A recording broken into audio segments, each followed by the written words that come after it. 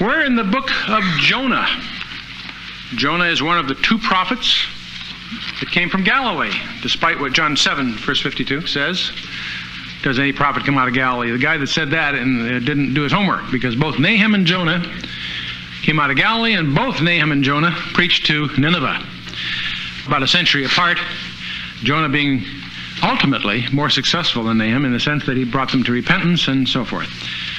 Jonah is the great missionary book of the Old Testament, very important book in, the, in Judaism. It's read on Yom Kippur. So if you have some feeling for the seven feasts of Moses, that's certainly a high day. That elevates Jonah as a very important book. Name means dove. His father's name means truthful. There are at least ten miracles in the book of Jonah. And the world is fixated on the most trivial of the bunch. This whole business of the fish. Not a whale, a ketos is a fish. The storm, the selection of Jonah as guilty, the sudden subsiding as well as the coming of the storm, and of course the great fish at the right time at the right place, and the preservation of Noah, that's about as far as we got last time, and his ejection. Chapter 2 ends with his ejection on dry land. We're going to see before the evening's over several others the gourd, the worm, the east wind in chapter 4. Strange, chapter 4. But the most important miracle of all is one that no one talks about. And that's the repentance of this entire city, city of Nineveh. It's the only case of a prophet being sent to the heathen in the Old Testament. Just an interesting little observation. If Jonah was the prophet sent to the heathen, what port did he leave from? Joppa. We would know it today as Jaffa, but in those days in the Bible it's Joppa. Which of the apostles was sent to the Gentiles? Yes, and which of the original uh, Peter? That's what I was going for. Acts 10, right? Remember Peter, the sheep? Both Peter and Jonah were loath to go to the Gentiles, right? Peter was called. Remember the sheep taken and eaten? Everything wasn't kosher. Fine, but don't call what I has sanctified as unclean. Right? Remember that? Where did that take place?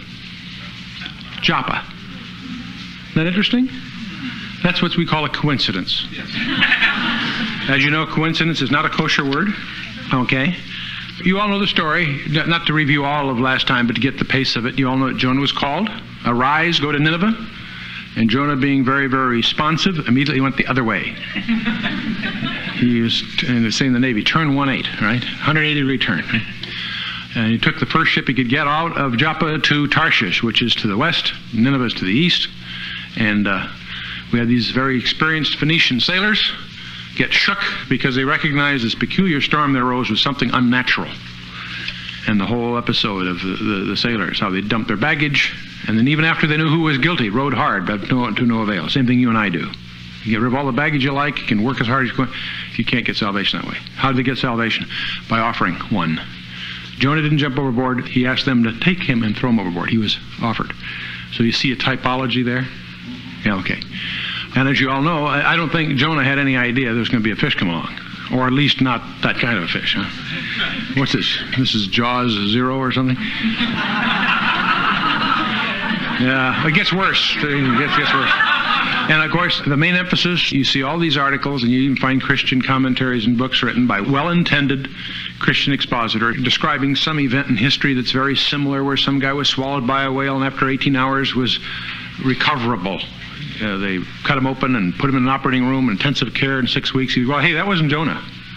He was in there not 18 hours, three days, three nights. That's important.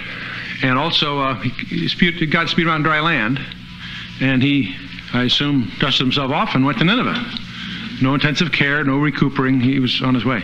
So the main point is it's a miracle. God intended it that way. It's unique. God prepared the fish. The United States government can take 70 guys and put them in a Polaris submarine and go under the ice cap and make history some years ago. I think uh, over what was that 90 days underwater, whatever. No, six months I think it was underwater. The United States government can do it. I think God can do one guy for three days. For 600 years, the book of Jonah was a Old Testament fish story. Interesting story until Jesus Christ came along and made an allusion to it that we must not lose sight of. Matthew chapter 12, verse 39 and 40. Let's just refresh our memory, look at that again, because it's going to be very important to us. It puts the story of Jonah and the big fish in a totally different light. And we'll start Matthew 12, 38. Then certain of the scribes and of the Pharisees answered, saying, Master, we would see a sign from thee. No kidding. I mean, he's raised the dead, he's healed lepers, he's healed blind. I mean, you, you list it. You know, he's done it. By the time you get to Matthew 12, there's quite an inventory of miracles. But these guys would see a sign. but he answered and said unto them, An evil and adulterous generation seeketh after a sign and there shall no sign be given to it but the sign of the prophet Jonah. A couple important things there, don't miss. Prophet Jonah. Jonah is not a story, a legend, a myth, a literary oddity. He was a prophet. Jesus Christ himself authenticates the book of Jonah. Also, Jonah was a sign. He was a sign to the Ninevites. What was the god of Nineveh? Dagon, a fish god. How interesting, huh? Oh, hmm. that's fun. Hmm. That was the breath of discovery. Wasn't that fun to hear that? Ooh. But he's even a more important sign. He was a sign to the Ninevites. If you take the incarnation of Dagon that they, the particular style they worship was Oannes, and if you put an I in front of it, you have the spelling of Jonah in the Greek for the New Testament. Nebi Yunus was the Aramaic for the prophet Jonah, and it's the name of an Assyrian mound. And an archaeologist, realizing what the name meant, excavated, and that's how Nineveh was discovered. The old city was discovered, was because of its identity with the prophet Jonah. But he's a, Jonah is another kind of a sign, vastly more significant to you and I, and that's the sign here in authenticated, Matthew 12. No sign but given it, but the sign of the prophet Jonah. For as Jonah was three days and three nights in the belly of the great fish, so shall the Son of Man be three days and three nights in the heart of the earth. Okay. Where is Sheol? Center of the earth. We talked about the bottomless pit last time, the abussos. We talked about Gehenna, Hades, and Sheol, the difference in those words. Hades and Sheol being the abode of the dead, geocentric concept. Gehenna, the lake of fire, the eternal, the place prepared for the devil and his angels, yet future, out in the outer darkness. Hades will be thrown ultimately in Gehenna. Different concepts, important study, Luke 16, primary reference, and of course, from there all through the Bible. Some 50 times mentioned, and most of those by the Lord Jesus Christ. So there is a hell, and we have it on good authority. Now, what state was Jesus during those three days and three nights? He was dead and buried, right? Right? He rose again the third day, right? From that point of view, plus subtleties of the text that we talked about and some others we'll touch on, many scholars, and I'm one of them that leans to the view that Jonah died. That he was as three days and three nights in the belly of, he, he prays from Sheol, the abode of the dead. You'll see in his language. So it's subtle, technical, not insisting on it. You don't have to embrace that idea. But it's an important insight. It's an important insight because he was intended as a type of none other than your Savior and mine. And that type, I believe, is in that sense complete. Any case, as Jonah spent three days and three nights in the belly of the great fish, so shall the Son of Man be three days and three nights in the heart of the earth. And the men of Nineveh shall rise in judgment with this generation and shall condemn it because they repented at the preaching of Jonah, and behold, a greater than Jonah is here. It's not hard to take the case of Nineveh, this gigantic, dominant capital city of the Gentile world, and draw an analogy to the United States. The men of Nineveh will rise in judgment against this generation, too, I believe. Billy Graham said it so eloquently. If God doesn't judge America, he'll have to apologize to Sodom and Gomorrah. Okay. So Jonah is far more important to you and I than just another piece of our Old Testament background. The Lord Jesus Christ points this rather vigorously. And so in chapter 1, of course, is the preamble. Chapter 2 is the, uh, we went through this last time, where Jonah is in the fish and, uh, and prays. Uh, out of the abdomen of the fish and out of the hollow place of Sheol is the proper technical translation. The key phrase in chapter 2 salvation is of the Lord. All the baggage that the sailors threw over, all the hard rowing they did, you name it, nothing availed. Salvation is of the Lord. I'm sure Jonah didn't realize. You know, when we see Abraham doing a type of Christ in Genesis 22, we can tell from the text Abraham had a sense that he was acting out prophecy. There's no evidence, as you'll see in chapter 4, there's no evidence that Jonah had any insight that he was also a type uh, or a prophetic uh, pointer, if you will, to uh, our Savior. But he does, his key word is, he says, uh, salvation is of the Lord in verse 9, chapter 2. And the Lord spoke unto the fish, and it vomited out Jonah upon dry land. Okay. Now, before we get into chapter 3, I would like to deal with a couple of things, since the link to Jonah for you and I is from Matthew 12. I mean, yes, we have an interest in Jonah because it's part of our Old Testament background, but our link here is of the type. Uh, let's let's talk a little bit about three days and three nights, because that's the literally way the Lord said it. Let's do a little poking around. Let's turn to Matthew 27, 63. The context is Jesus has died, Matthew 27, verse 63, and buried in Joseph of Arimathea's sepulchre. Verse 62, the next day, that following the day of the preparation, the chief priests and the Pharisees came together unto Pilate, saying, Sir, we remember that that deceiver said, while he was yet alive, After three days I will rise again. Here are his adversaries recalling this statement. It's amazing how many things he said they didn't understand, but whatever else is true, they did catch on to the idea that he was to be raised from the dead on the third day. You might turn to Mark 831. Caesarea Philippi, Philip's famous confession. Thou art the Christ, the Son of the living God. And he charged me, should tell no man. And, and then he began to teach them, saying, The Son of Man must suffer many things. In other words, after that declaration by Peter, is when he starts letting them in on what the mission's all about. Son of Man must suffer many things and be rejected by the elders and by the chief priests and the scribes and be killed. And after three days, rise again.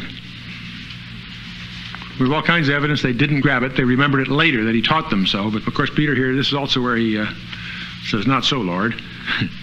That's an oxymoron. Right? Not so, Lord. Huh?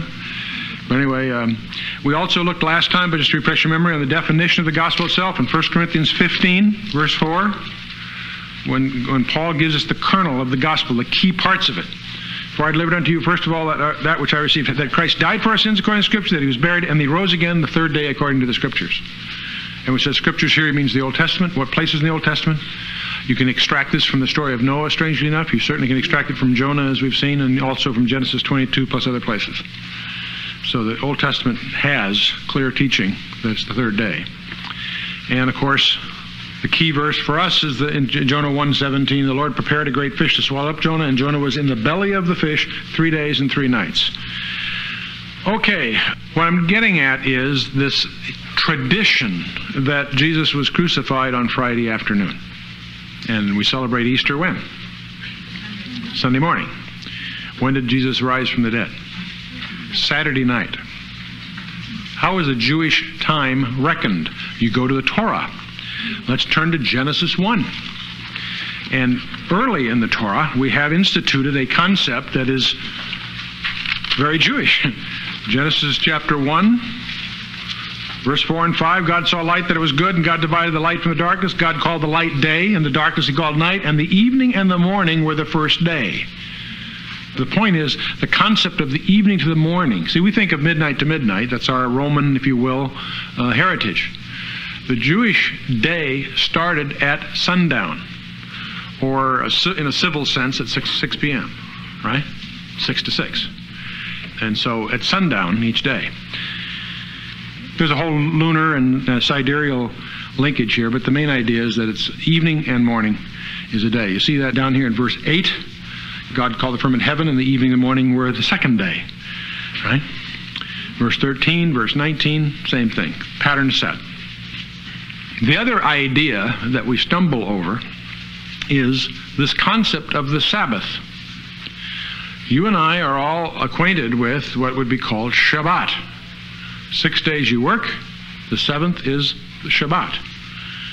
In their calendar, it's Saturday. We tend to think of our week as starting Monday, but let's not get into all that. So, when does Shabbat start? Friday evening, when the sun goes down, starts Shabbat. You bet. Now, In the Gospels, the whole idea is the body had to come down because the next day was a Sabbath, huh?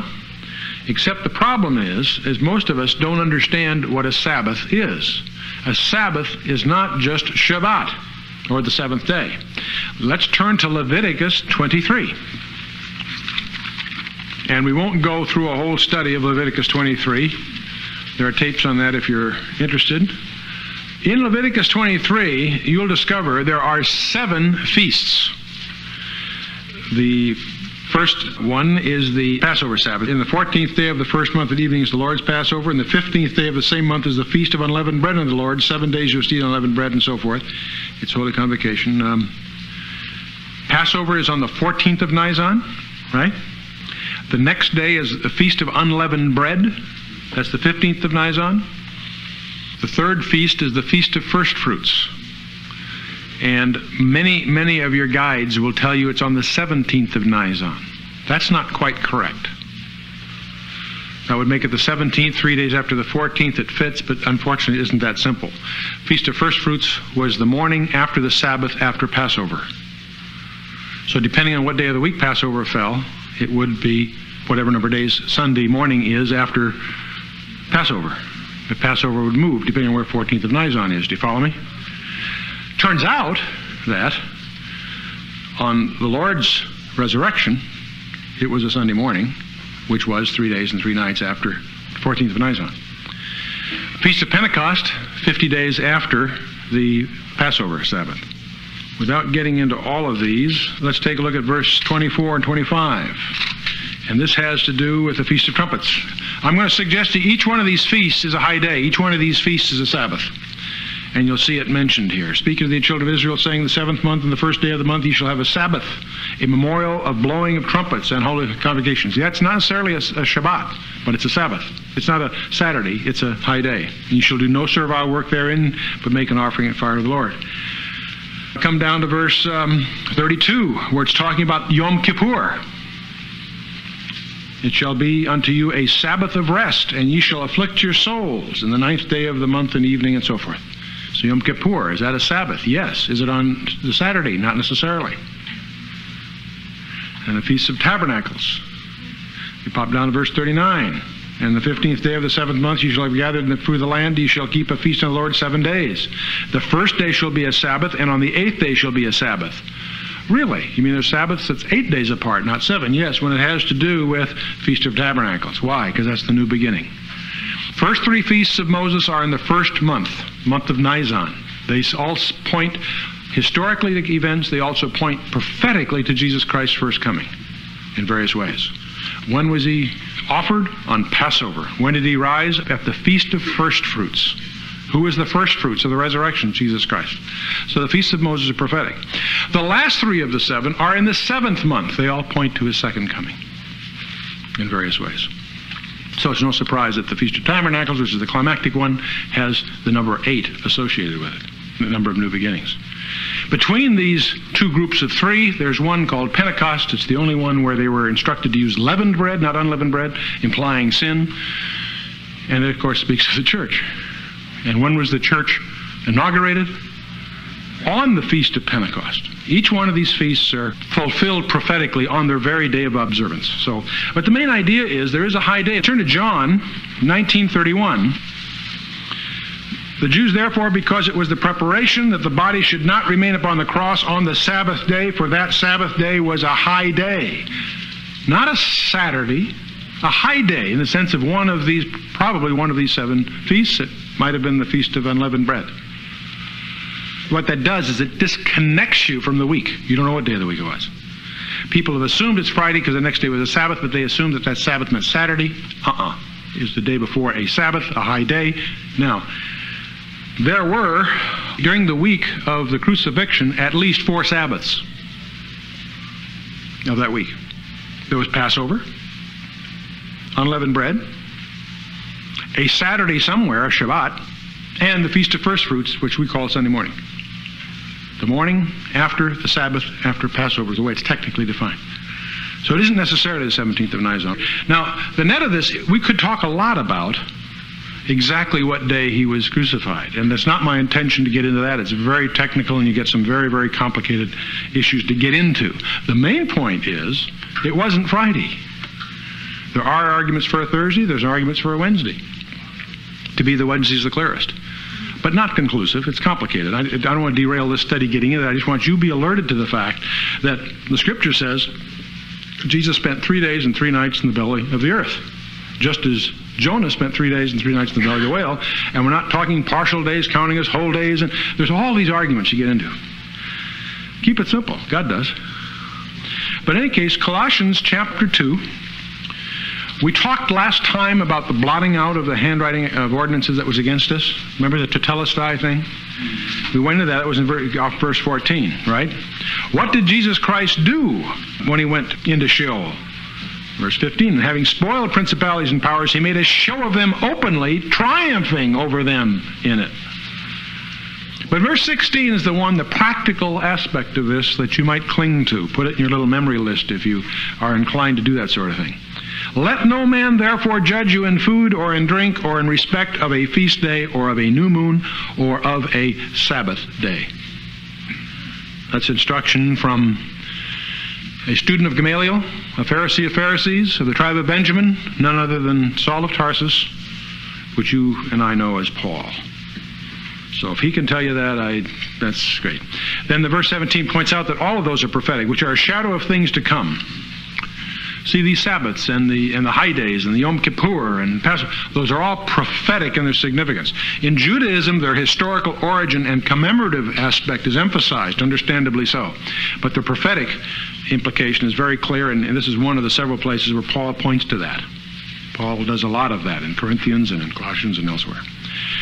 We notice that God doesn't just have the fish cough Jonah up, but deposits him, using a little more polite term, on dry land. Okay? We might just throw a few verses into that discussion. Let's turn to 2 Corinthians 5:17. Therefore, if any man be in Christ, he is a new creation. Old things are passed away. Behold, all things are become new. I think Jonah was a new creation. I think he died and was, in a sense, resurrected. Certainly, that view does not do violence to the type. In fact, quite the contrary. You might turn to John 12, 24. This is just an exercise to get you to buy tabs for your Bible. And uh, the bookstore put me up to this. Very, very, I say unto you, except a grain of wheat fall into the ground and die, it biteth alone, but if it die, it bringeth forth much fruit. Many applications. Context here, of course, is the person of Jesus Christ, speaking of his death. Does it fit Jonah? He ran from Nineveh, but through that experience, he was given the call, arise, go to Nineveh a second time. And he goes. Did he bear much fruit? You bet. How about you and I? Have we died? Have we died to self? Are you really a new creation in Christ? That's a little thought for the evening. We can move on. Okay. Philippians 1 6. This all pops out of Jonah. This is the one I cling to. I think it's a fabulous verse. Philippians 1 6. Being confident of this very thing, that he who hath begun a good work in you will perform it until the day of Jesus Christ. Has he started with you?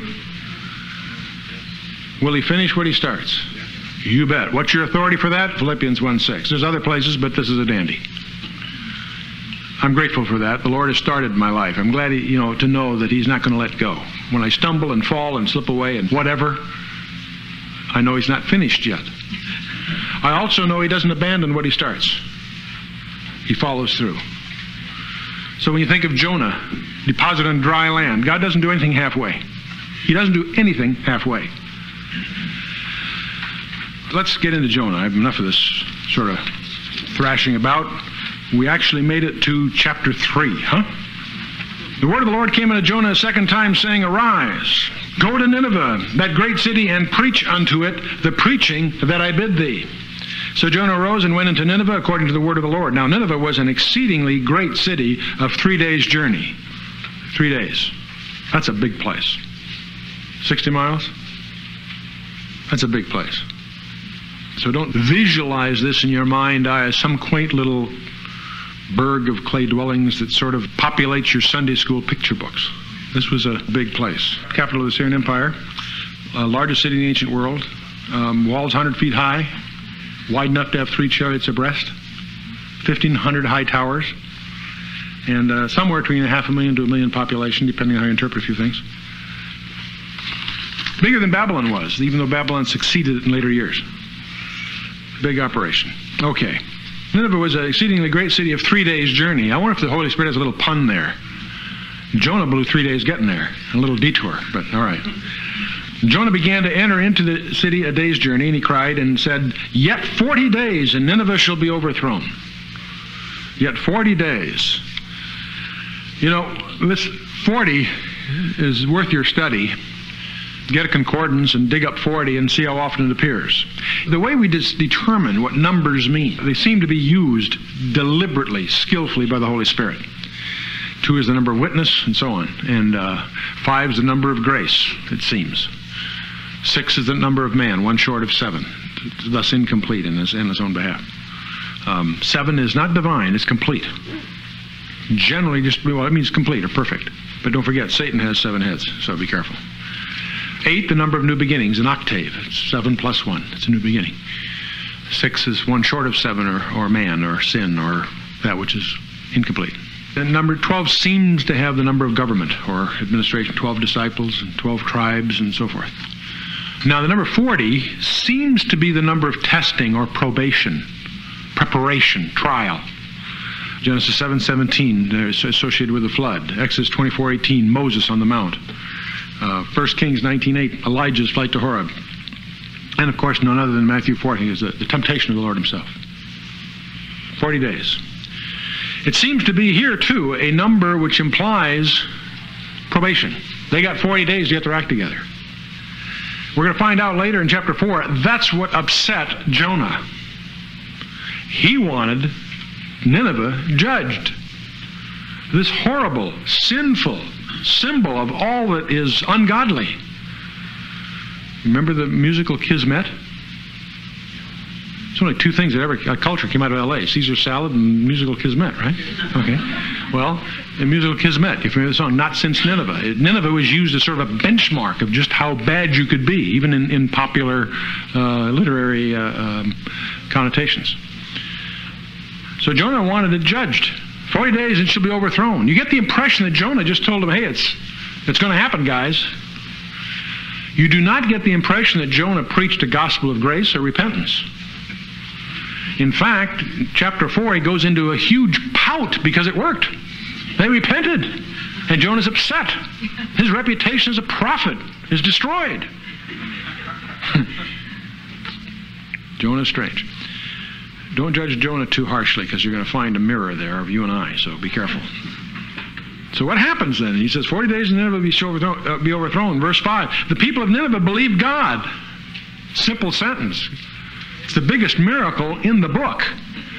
You got nine other miracles that pale into comparison than to have this gigantic, heathen, idol worshiping city believe God and repent. Read on. They believed God, proclaimed a fast, put on sackcloth, and the greatest of them even to the least of them. For word came into the king of Nineveh. And he rose from his throne and laid his robe uh, from him and covered himself with sackcloth and sat in ashes which is a classic ancient ritual for repentance. Mourning. Very Judaistic, but also practiced in some of the other ancient cultures, apparently.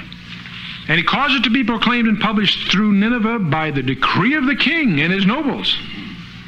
King and his nobles.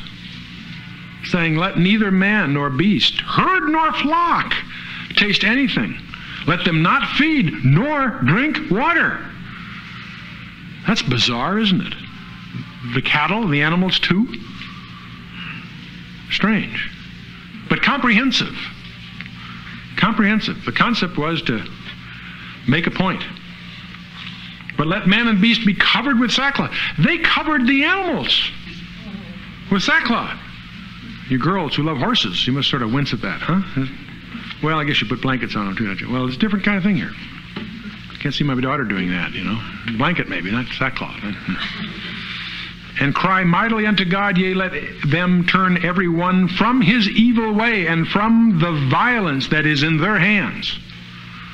The Assyrians, Nineveh was the capital of the Assyrian Empire. Assyria was known for their brutality. When they conquered a, a, a city and they, they take the noble, impale him on a pole while alive, and skin him alive, just to make a point. They uh, didn't mess around. These guys were, they played rough. No wonder Jonah grabbed a ship to Tarshish. He's going to go into that city and preach? It's not hard to visualize Jonah's action. I can't rationalize it. Obviously, it was dumb, but yet understandable in a sense. So, what does he do? He goes down the streets wearing his play cards or holding a sign 40 days and comes destruction. Huh? and what do these people do but repent? Boy, is Jonah's going to be upset about that. But anyway, we'll see in a minute. Notice now something interesting. Apparently, Jonah did not preach grace, did not preach repentance. He said, Hey, you guys, you got 40 days and it's over. You guys got 40 days and it's all there is. Notice what they did. They put on sackcloth and ashes on themselves and on the people and went into a fast, no water, no food. Why? Verse 9 Who can tell if God will turn and repent and turn away from his fierce anger that we perish not? They did this on the thin thread of hope. The logic being that if we got 40 days, boy, that's 39 more than he might have given us. And maybe, if we show him more serious, we can aver his anger. Isn't that interesting? You and I hear the message of God's grace and His forgiveness so much we take it for granted, shrug it off. I mean, you know, maybe tomorrow. You know what I mean? These people did not have that. They inferred it. Their, their instinct, if I can call it that, their, their, their uh, presumption, the presupposition about God was that He was a merciful God. They had no reason to believe that. And apparently not from Jonah. And verse 10, what a fabulous verse. And God saw their works, that they turned from their evil way. And God repented of the evil that he had said that he would do unto them, and he did it not. Well, now we can get into volumes of books. Can God repent? Tells you the kind of books that float around somebody, some libraries. But anyway, uh, let's see. Repentance.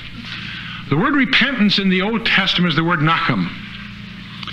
The original root meant to sigh, to pant, to groan. The word came to mean to lament, to grieve, to pity. So the word repent, as it's used in the Hebrew in the Old Testament, doesn't mean that God changed his mind. God is immutable, cannot change. God knows the end from the beginning. Sometimes the easy way to deal with this is just to read it as if it's put that way for our understanding. That's the way it's often taught, and it's reasonable. But the word really means God repented in the sense that he grieves, pities, and thus lifts a sentence or delays a judgment or whatever. Do you follow me? Doesn't mean he changed his mind. God doesn't change his mind. God can't learn. He knows everything. Now, quiz question. Counts double credit. How many times does the word nacham appear in the Old Testament? 40. Isn't that interesting?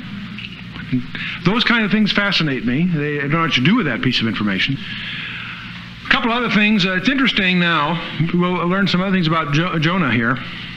I'm going to suggest to you that Jonah has another type. We've seen him obviously as a type of Christ, authenticated by Matthew 12 and so on. We've explored that to some extent. There is another sense in which Jonah is a type, a model, an allegory, a, an analogy, if you will. And that's a type of Israel. You notice that Israel was originally called to the Gentiles to be a missionary organ of God to the Gentiles. When Abraham was first called, go back to the founding of Israel in the sense of the call of Abraham, Genesis 12. The Lord said to Abraham, Get thee out of thy country and thy kindred and from thy father's house and the land that I will show thee, and make thee a great nation, and I will bless thee and make thy name great, and thou shalt be a blessing, and I will bless them that bless thee, and curse him that curseth thee, and in thee shall all Israel be blessed. No. In thee shall all families of the earth be blessed. The call of Abraham is far, far more important than simply the birth, if you will, of the nation Israel, in a sense. That idea is being challenged by the major nations today. Israel's right to the land goes back to the land grant that God gave Abraham, not in that verse elsewhere. And it's interesting how the world at large will challenge that. So as you read, when you read the conflicts in Palestine and all the problems, and they're serious ones, uh, between all the various constituencies, things, recognize that what's really at the root of that is their right to the land. Where does it come from? From the Torah, from the book of Genesis, Bereshit. And that uh, will eventually cause the entire world to go to war. The prophets tell us. It's interesting how we watch it just position itself that way today. But anyway, moving on. We go to Isaiah 43, Exodus 19, other places. Israel's mission was to the Gentiles. Did they succeed? Answer no. It was prophesied that they would not succeed the first time. Let's turn to Deuteronomy 28. Israel failed at her mission. She did not become an adequate or effective witness to the Gentiles, even to the climax of rejecting her Mashiach when he appeared. He came unto his own, but his own received him not. Deuteronomy 28, verse 64 and following. The Lord shall scatter thee among all people, and from one end of earth even to the other, and there thou shalt serve other gods, which neither thou or thy fathers have known, even wood and stone. And among these nations shalt thou find no ease. Neither shall the sole of thy foot have rest, but the Lord shall give thee there a trembling heart and failing of eyes and a sorrow of mind. The tragedy of the wandering Jew, the Jew without a homeland. And thy life shall hang in doubt before thee, and thou shalt fear day and night, and thou shalt have no assurance of thy life. In the morning thou shalt say, Would God it were evening! And evening thou shalt say, Would God it were morning! For the fear of thine heart wherewith thou shalt fear, and for the sight of thine eyes uh, thou shalt see, and the Lord shall bring thee, and so on, and on it goes. You might also pick up chapter 30 of Deuteronomy, just a few verses. It's come to pass that when all these things are come upon thee, the blessing and the cursing which I have set before thee, and thou shalt call them to mind among all the nations to which the Lord God hath driven thee, and shalt return unto the Lord thy God, and shalt obey his voice according to all that I command thee this day, thou and thy children with all thine heart and with all thy soul, then the Lord God will turn thy captivity and have compassion upon thee, and will return and gather thee from all the nations where the Lord thy God hath scattered thee. All the nations. This was not fulfilled in Babylon. Babylon was one nation who went into captivity for 70 years and, and returned. That was their first regathering, but it was from one nation, Babylon. This regathering is from all nations, right? If you recall Daniel 9, the 70 week prophecy, he says, the, and the end there shall be with a diaspora, an outpouring. And uh, that was right after what? The crucifixion of Christ when the Messiah would be cut off, but not for himself. Daniel chapter 9, 25, 26, and 27. Won't take the time now. Let's just turn to Isaiah 11. Isaiah chapter 11, verse 11 It shall come to pass in that day that the Lord shall set his hand again the second time to recover the remnant of his people who shall be left from Assyria and from Egypt and from Pathros and from Cush and from Elam and from Shinar and from Hamath and from the coastlands of the sea. And he shall set up an ensign for the nations and shall assemble the outcasts of Israel and gather together the dispersed of Judah from the four corners of the earth. Praise God. Jonah was called the first time. Did he do it properly? No, he blew it. In chapter 1 of Jonah, verse 2, it says, Arise, go to Nineveh, that great city, and cry against it. Did he? No, he blew it. Chapter 3, verse 2 Arise, go unto Nineveh, that great city, and preach unto it. Did he do it? Yes. Was it successful? Yes. Israel was called once. Was it successful? No, it rejected the Messiah when sent. The second time is underway. We're seeing the beginning of it. Let's turn to Ezekiel 36. Verse 24 is the one that's usually quoted here. Let's just pick it up and then I'm going to backtrack a little bit. For I will take you from among the nations and gather you out of all countries and will bring you into your own land.